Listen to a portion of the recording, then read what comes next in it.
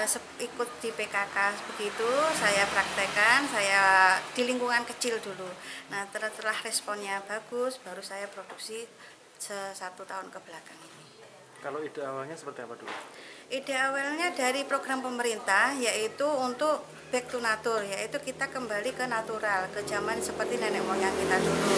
Jadi pemerintah mengadakan sosialisasi saya mengikuti di puskesmas kecamatan Semen sini nah di kecamatan situ kita diarahkan untuk menanam toga untuk hidup eh, lebih sehat lagi untuk mengonsumsi yang natural-natural, mengurangi bahan kimia.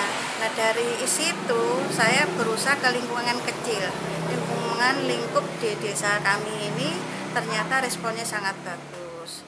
Nah waktu itu kami hanya sekedar eh, apa pelatihan kecil-kecilan gitu, kok ternyata peminatnya banyak. Nah bahkan kami sampai bisa kirim ke luar kota. Nah dari situ kami buat usaha yang untuk dikomersilkan. Kalau produksinya apa saja? Bu? Eh, produk saya ini saya ambil dari bahan yang ada di lokal di desa kami, ter- ya- yang luasnya di kecamatan kami ini, kecamatan Semen itu terdapat eh, dengan bunga rosella. Jadi kami mengangkat dari bunga rosella itu menjadi minuman. Pertama kami membuat eh, sirup sirup eh, bunga rosella. Nah ternyata untuk di masyarakat kurang kurang kurang da- daya jualnya kurang. Akhirnya saya membuat untuk minuman yang drink siap minum. Ternyata peminatnya bagus untuk di sini. Akhirnya saya eh, membuat untuk minuman rosella itu yang pertama.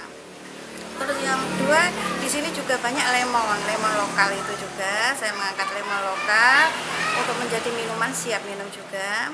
Terus yang ketiga itu saya ambil empon-empon. Di sini sangat banyak yang namanya temulawak, kunyit, jahe, serai itu sangat banyak di sini. Bahkan harganya kadang-kadang murah meriah di sini. Kunyit bisa dihargakan satu, satu kilonya itu 2000 rupiah. Itu sangatlah apa ya untuk anu itu kasihan gitu saya lihat petani itu dengan kunyit hanya 2000 rupiah serai hanya 2000 rupiah sekilo. Jadi supaya petaninya itu bisa meningkat itu saya membuat minuman dan alhamdulillah kita bisa bekerja sama dengan petani di sini. Akhirnya empon-emponnya juga baik untuk pemasaran. Jadi ini ngambilnya juga dari produk dari di desa titik ini juga sendiri gitu. Oke, ini dari desa titik sendiri kami mengangkat bahan dari lokal. Eh, penjualnya sudah sampai mana aja ini bu? Untuk penjualnya kami ada di Blitar, Malang. Nah ini yang ke depannya ini ke Jakarta. Terus ini mau diikutkan di pameran di Eropa juga.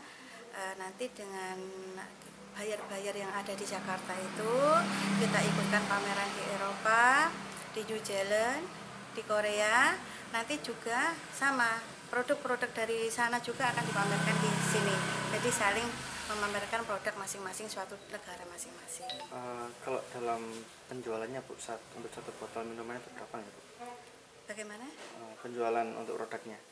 Kisaran kisaran berapa harganya? Oh, untuk untuk lemon sendiri kami partainya biasa reseller mengambil itu lemon drink itu 2.500 itu untuk eceran sendiri 3.500 untuk lemon drink untuk rosella itu saya reseller mengambil 3.500 dijual 4.500 untuk empon-empon itu reseller 4.000 dijual 6.000 gitu. Kalau satu bulan omsetnya sampai berapa bu? Saya dalam satu hari itu produksi 300 botol. 300 botol produksi hari Senin, Selasa, Rabu, Kamis saja itu produksinya 3 3 kali 4 1200. Satu minggu 1000 satu minggu 1200 kali botol. empat ya.